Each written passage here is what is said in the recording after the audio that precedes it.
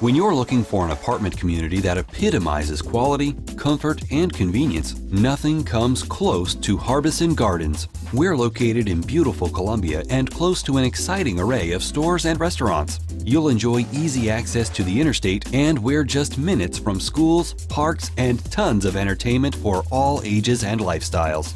Pets are welcomed in our community and we offer a wonderful amenity package, including a free membership with the Harbison Recreation Center.